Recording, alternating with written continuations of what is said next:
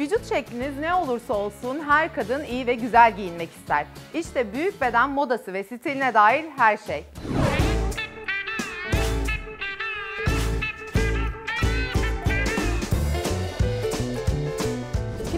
Olursa olsun her kadın iyi ve güzel giyinmek ister.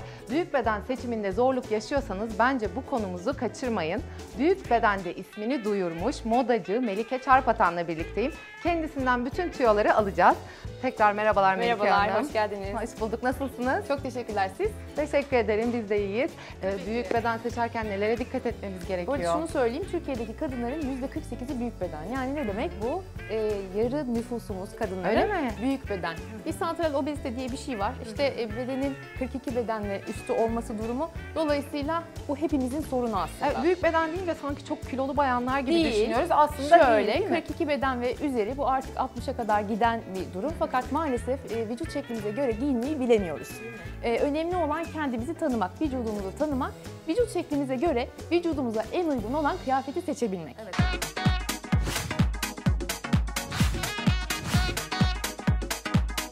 Bu arada çok güzel bir hanımefendisiniz. Ee, üstünüzde de siyah var. Siyah herkes tercih edebilir mi renk olarak? Aslında hepimiz çok seviyoruz. Evet, siyah çok asil bir renk.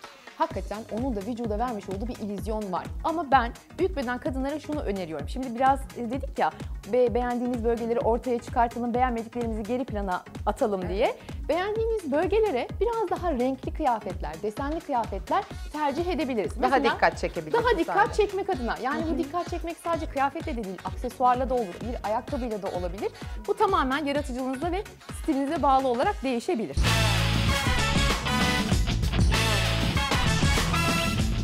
Seçimleri nasıl olmalı? Nelere dikkat etmemiz gerekiyor? Valla genelde Türk e, kadınlarının e, kalçaları geniş olur. Belleri biraz daha ince olur. Bu da güzel bir avantaj aslında. Böyle bir kum saati havası verir.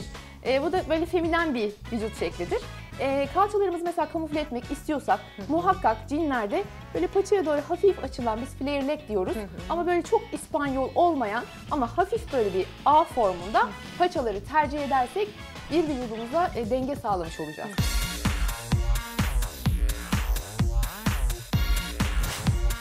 Desen olarak nasıl desenler tercih etmeliyiz Melike Hanım? Mesela yatay çizgiler e, çok fazla kilolu gösterdiğini düşünüyoruz. Çok yanlış aslında. Ee, şöyle bir şey söyleyebilirim. O çizgilerin orantıları çok önemli. Evet boyuna çizgili desenler bizi olduğumuzdan zayıf gösterebilir. Ama enine çizgilerde eğer çizgiler hani enleri daha ince ise o bizi olduğumuz gibi gösterir. Bir illüzyon sağlamaz. Ama çizgilerin araları açıldıkça evet bir hantal görüntümüz olabilir.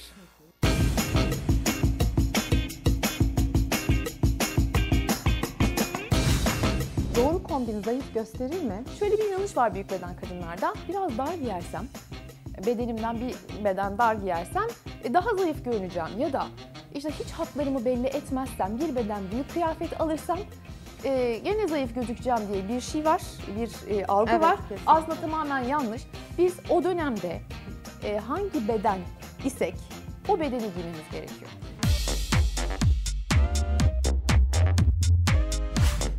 Biraz da tasarımlarınıza göz atmak istiyorum ben. Şimdi mesela böyle hani biraz giyçikler de bizim için önemli. Hani kurtarıcı parçalar. Ee, bu biraz salaş ama şimdi bir de oversize modası var. Şimdi oversize modasını büyük bedenlerin çok fazla e, takip etmemesi gerekiyor. Dedik ya biraz daha bedenimizde kıyafetler alacağız diye. Fakat işte e, bu büyük bir beden.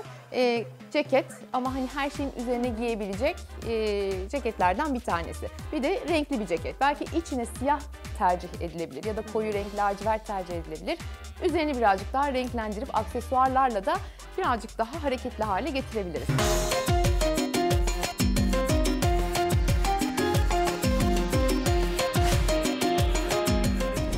Burada Melike Hanım'ın tasarımlarından yine çizgili bir detay var.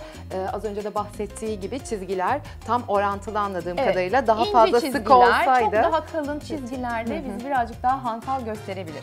Ama dediğiniz gibi yine uzun çizgiler e, tabii ki bir illüzyon yaratıyor. Bu arada desen de tercih edebiliriz. İşte minimal desenler büyük beden kadın için çok uygun. Geniş desenler bizi olduğumuzdan hantal gösterir. Ama daha böyle çıtır desen dediğimiz minik desenler hakikaten vücudunuza uygun olacaktır. Mesela sizin üzerinizdeki hemen Hemen çok söyleyeyim. pardon. Mesela çok böyle e, şal deseni ama Hı hı. çıtır desenler aslında bunlar. Yani e, gözü yormayan ve ufak desenler. Dolayısıyla bu tip desenleri büyük beden kadınlar da tercih edebilir. Çok teşekkür ediyorum. Ağzınıza sağlık Melike. Hanım. Başka bir konuyla görüşmek üzere.